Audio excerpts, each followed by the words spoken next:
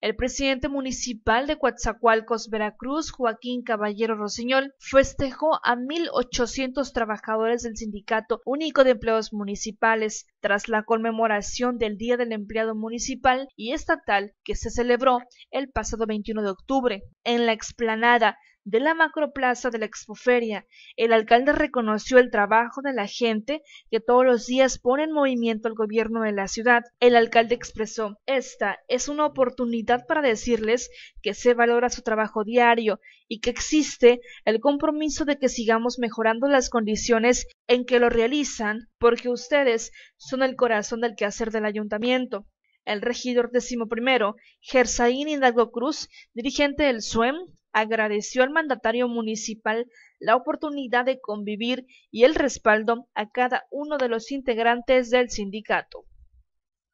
Para TVS Noticias, tvsureste.com